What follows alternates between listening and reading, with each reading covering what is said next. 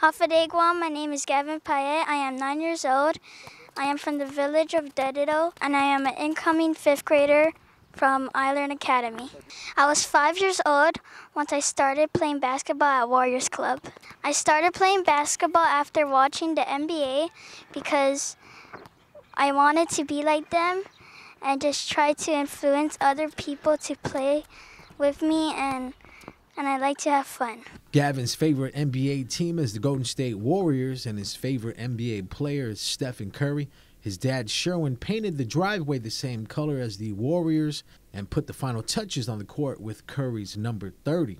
At home, Gavin, he puts in the work even without me having to tell him.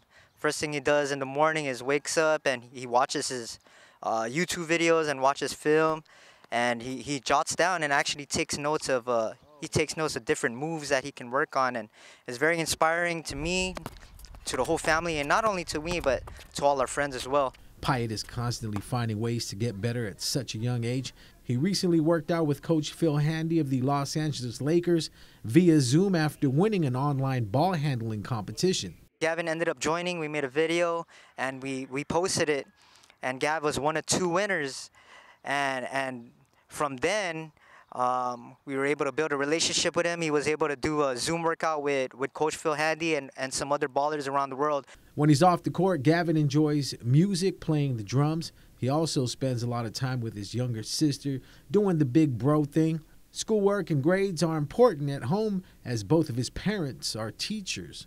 One thing that we implement in our household is education.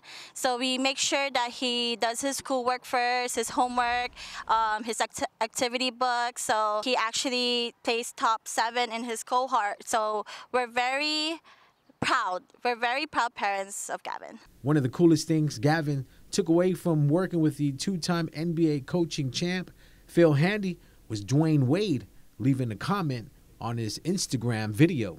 I felt excited because I was running around the whole house telling everyone that Dwyane Wade commented on my video.